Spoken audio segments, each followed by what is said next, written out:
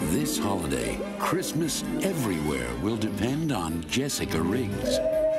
It all started when an afternoon's adventure led to an evening's discovery, Oh, it's just like this one, Prancer. and a magical time began.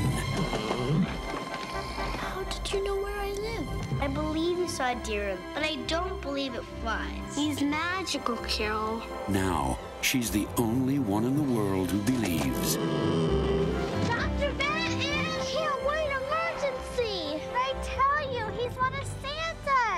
Kid isn't playing with a full deck. Hold his head away from me. He's probably used to being around people. What am I, an elf? Nobody, and I mean nobody but us three can know about Prancer. Oh, don't worry. I wouldn't want anybody to find out you're nuts. Something's been eating on our little trees. What do you think it was? I'd say it might have been a deer.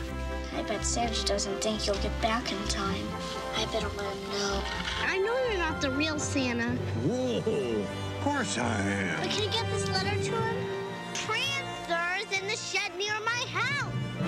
But how could she have known how much one deer could do to her home?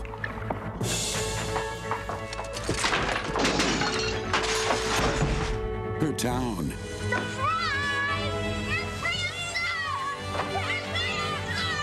You have added inspiration to my day, young lady. and her family. I think we still got time. Santa hadn't been to Three Oaks yet. Well, out of the way, everybody. We got a reindeer to get to Antler Ridge by oh. midnight. Prancer, a Christmas adventure for the whole family.